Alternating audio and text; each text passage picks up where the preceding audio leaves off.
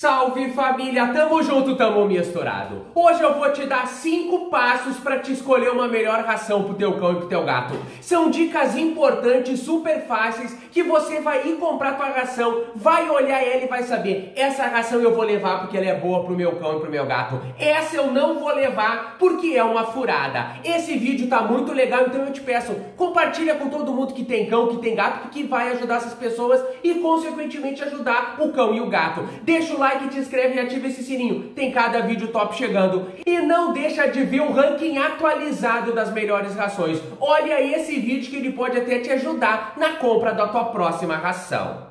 O primeiro critério, o primeiro passo é você evitar ingredientes que possam prejudicar a saúde do teu cão e do teu gato. Concorda comigo? Então, quando tu for comprar tua ração, tu tem que verificar se ela não tem corantes artificiais. Isso não é bom para os cães e para os gatos. É o primeiro passo de todos. E rações antigas de geração passadas usavam muito, mas ela ainda existe no mercado brasileiro. O segundo passo é ver se não tem corante sintético. Isso mesmo.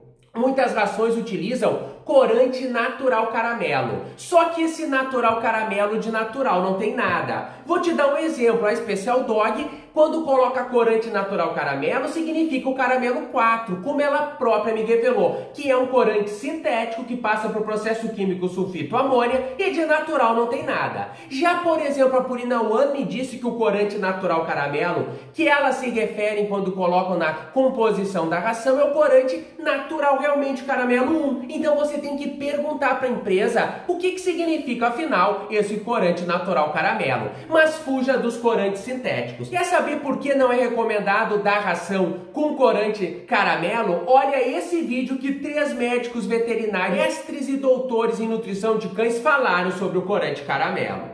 E por fim, você tem que evitar também rações que tenham o dióxido de titânio, que tem um grande potencial cancerígeno. Ele é um branqueador, então as empresas usam ele para branquear o grão e depois vêm e colocam o corante sintético, colocam o corante artificial. Avançando um pouquinho mais, o ideal ainda seria você evitar rações, se o teu bolso permitir, eu sei que é caro rações sem BHA e BHT, ou seja, conservantes artificiais. Procure rações, se possível, se tu tem condições, que não tenham conservantes artificiais, somente conservantes naturais. E cuidado com rações que tenham natural só no nome. Por exemplo, Premier Seleção Natural, ela vai ter conservantes artificiais. Golden Seleção Natural vai ter conservantes artificiais entre outras marcas que usam a palavra natural, mas quando você vai ver, tem o conservante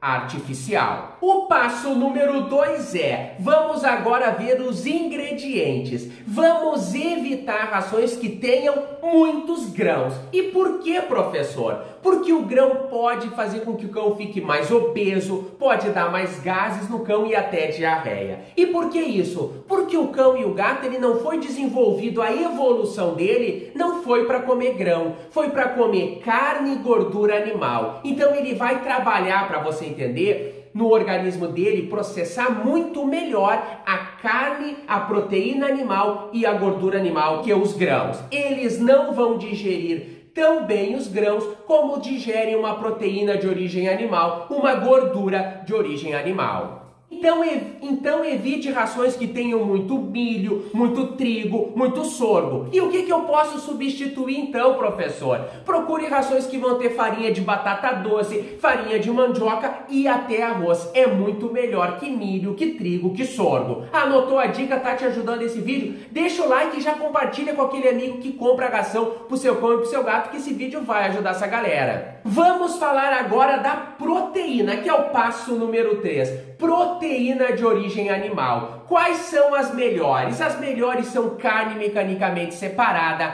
carne fresca. Então as rações que tenham esses ingredientes são as top de linha e você deve priorizar. Depois vem rações que tenham farinha de víscera de aves, farinha de víscera de frango, farinha de carne. E fuja de toda e qualquer ração que você vê que tenha farinha de pena. Eu preciso te explicar uma ração que tenha farinha de pena e no mercado tem muita. Olha esse vídeo aqui. Rações que tenham farinha de subproduto do frango. Tudo que é subproduto, digamos que tem menos valor biológico que uma farinha de vísceras, que uma farinha de carne, que carne mecanicamente seca carne mecanicamente separada, carnes frescas. Anotou a dica? Presta atenção para te ajudar na hora que tu for escolher tua próxima ração pro teu cãozinho, pro teu gatinho. A gordura é o nosso passo número 4, um ingrediente muito importante para o cão e para o gato. Então, quais são as piores, professor? Fuja das rações que tenham óleo de soja e gordura estabilizada. Você viu óleo de soja e gordura estabilizada? Não dê prioridade a essas rações. E quais são as boas, professor? Daí nós vamos ter óleo de frango, óleo de aves,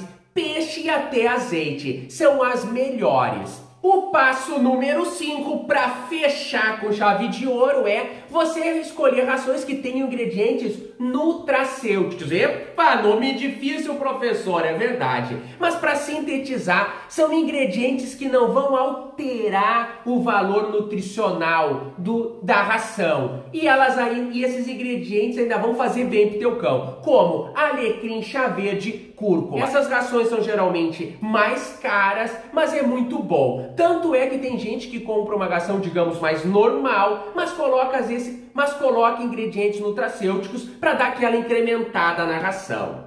Tenho certeza que esse vídeo te ajudou. E lembrando, cuida muito a propaganda e o marketing. Nem tudo que está na embalagem realmente vai demonstrar que aquela ração é top. E eu tenho provas. Tem rações que tu você vê na embalagem, por exemplo, um peito de frango maravilhoso, você vê uma carne de gado linda, tu vira a ração, olha a composição e tá lá farinha de pena. Tu vira, olha a composição e tá lá corante artificial. Tu vira, tu olha a ração e tá lá farinha de subproduto do frango. Então esquece a embalagem, esquece o marketing, vai na composição. É ali que você vai encontrar toda a verdade possível na ração, para ver se ela realmente é boa ou se ela não é. Esses cinco passos eu tenho certeza absoluta que vão te ajudar a escolher uma melhor ração pro teu cão, pro teu gato. Então agora eu te peço, compartilhe esse vídeo nos grupos do WhatsApp, do Facebook, para todo mundo que tem um cão, que tem um gato.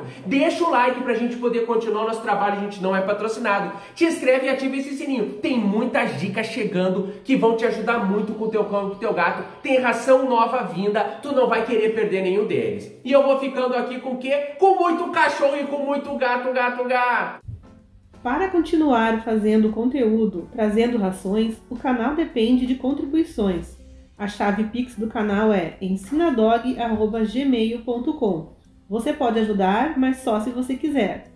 Muito obrigada por ver o vídeo até o final.